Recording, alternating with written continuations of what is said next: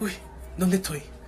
Eh, En el infierno, menos mal, salve Satanás. ¿Y mejor amiga? ¡Aquí!